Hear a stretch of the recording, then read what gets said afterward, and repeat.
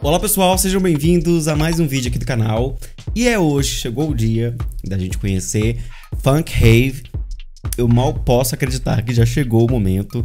Gente, momento muito importante, muito aguardado, muito especial. Eu tô assim, detonado neste momento, mas assim, com muito desejo de conferir é, o áudio, né, deste single. Que assim, gente, eu não tenho nem palavras, tá? O vídeo vai sair amanhã, eu estava aguardando o vídeo sair hoje, mas né? É, a gente tem que entender aí a estratégia de marketing, né? Hoje vai liberar do single áudio e nós vamos conferir ele primeiro. Amanhã o vídeo com reação novamente, ok? Então vai ser reação dupla hoje e amanhã. Então bora lá conhecer Funk Rave. Ó o bumbum da gata aqui.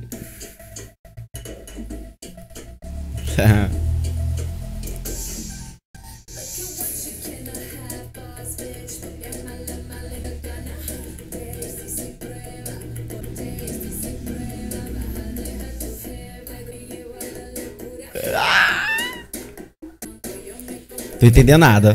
Porque eu não sei nada de espanhol. Tem uma tatu aqui escrito Daniel.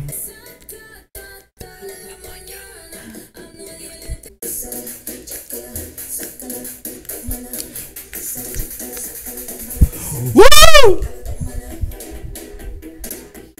Gente, tá perfeito.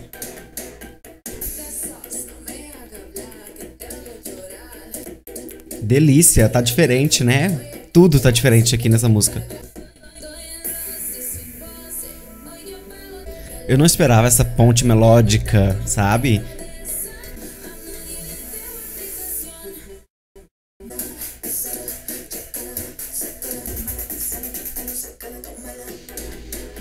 Essa é a minha parte preferida.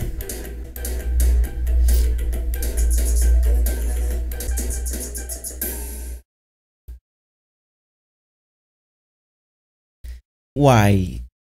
Ok. Foi.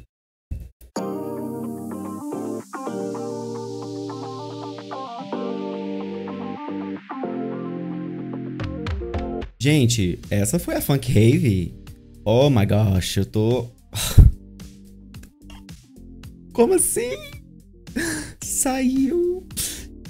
Gente, nossa, meu Deus. Realmente, olha, vamos pelo, pelo, pelo contexto, né? O trecho que foi liberado do refrão conta boa parte da música, mas o verso, a ponte, tem um início da ponte que não tinha sido revelado, né? Foi só o finalzinho da ponte, que vem numa crescente assim deliciosa e estoura aí nesse refrão extremamente contagiante. Não me lembrou nada do Girl From Rio e nem do Versions of Me, completamente inovador para a carreira da, da Anitta.